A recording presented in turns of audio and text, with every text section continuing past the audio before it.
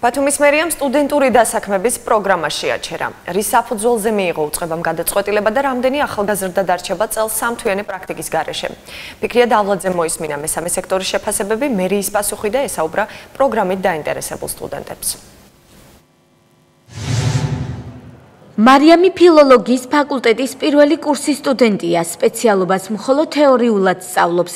სტუდენტი ფიქრობს, რომ პროფესიული ზრდისთვისა და საზოგადოებასთან ინტეგრაციისთვის პრაქტიკული გამოცდილება მნიშვნელოვნად დაეხმარება. დასაქმება არა მარტო ფიზიკურ და სოციალურ დახმარებას გაუწევდა სტუდენტებს, არამედ მათ მორალურ და პროფესიულ განვითარებას შეუწყობდა ხელს, მათ პიროვნულ ზრდას პირველ რიგში და უმჯობესი იქნებოდა სტუდენტები დაესაქმებინათ იმის მიხედვით, თუ რა ფაკულტეტზე სწავლობენ ისინი, მათი დასაქმება შემდეგში უფრო რეალური იქნებოდა. მარიამის სტუდენტური დასაქმების პროგრამაში ჩართვა საპირებდა, თუმცა ამის შესაძლებლობა აღარ ეძლევა. საქმე ისაა, რომ პროექტი ბათუმის მერია მიმდინარე წელს შეაჩერა.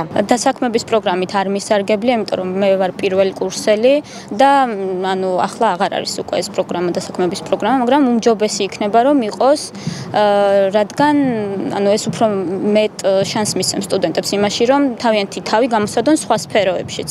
მესამე სექტორში სტუდენტური დასაქმების პროგრამის აუცილებლობაზე საუბრობენ, თუმცა იგივე ფორმით პროექტის გაგრძელებლის აუცილებლობას ვერ ხედავენ. მათი მოსაზრებით, ხშირ შემთხვევაში სხვადასხვა სამსახურში დასაქმებული სტუდენტების სწრებადობის კონტროლი არ ხდებოდა, რის გამოც პროგრამამ სასურველი შედეგი ვერ გამოიღო. მე რა უნდა გაითვალისწინოს გავსი პროექტის განხორციელების დროს, რომ სტუდენტები დასაქმნენ ინტერესების და შესაბამისად.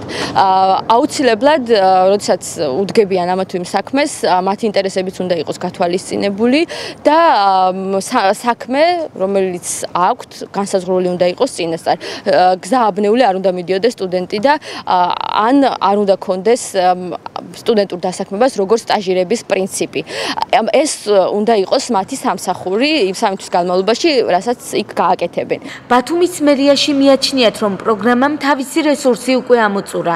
ამ ეტაპზე უწყება სტუდენტებს პროფესიული სტაჟირების პროგრამას თავაზობს, რომელიც არაანაზღაურებადია. ბათუმელ ახალგაზრდას შეაიძლევა შესაძლებლობა, რომ თავისი კვალიფიკაცია უცხოეთში სტაჟირებით აიმაღლოს.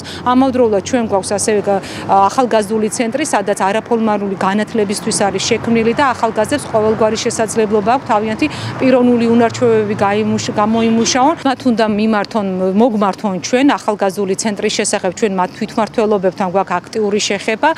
ვაწვდით ინფორმაციას. ბათუმის მერია სტუდენტთა დასაქმების პროგრამას 10 წლის განმავლობაში ახორციელებდა. მასში მონაწილეობა მხოლოდ სოციალურად დაუცველი სტატუსის მქონე ახალგაზრდას შეეძლო. პროგრამით ასევე მაღალი აკადემიური მოსწრების სტუდენტებიც სარგებლობდნენ.